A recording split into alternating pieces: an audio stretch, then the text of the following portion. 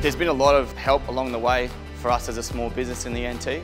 The government was definitely a big supporter, Energy Club and the Chamber of Commerce have definitely played a role as well. They're looking to build capability locally in Darwin. Without that, we wouldn't be where we are. And there's opportunities for other businesses out there as well.